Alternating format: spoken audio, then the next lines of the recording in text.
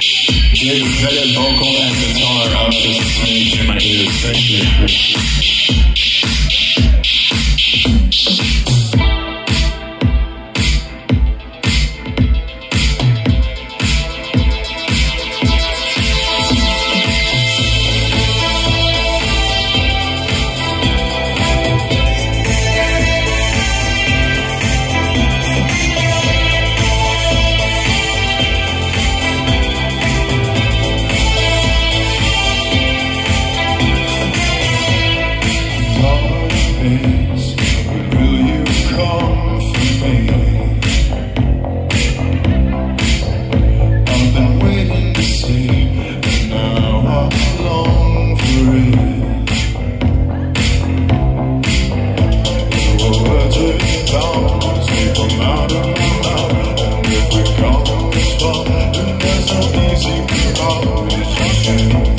entertainment.